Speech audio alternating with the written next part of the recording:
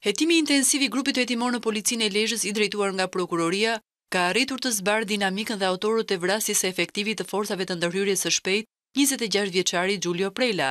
Burimet policore bënë të ditur se pas verifikimeve të shumta dhe provave të grumbulluara, si dhe nga këqyra e kamerave të sigurisë në zonën ku ndodhi krimi, është vënë në pranga një prej autorëve të krimit, shtetasi Nikoll Sherniku, Ndërkaq Policia e Lezhës përmes një njoftimi për shtyp ka bërë të ditur se në kërkim është shpallur edhe autori tjetër i vrasjes së efektivit Xhulio Prela, emri i të cilit nuk bëhet i ditur për arsye hetimore. Për të arrestuarin Nikoll Sherniku është ekzekutuar masa e sigurisë e vendosur më parë nga Gjykata e Lezhës.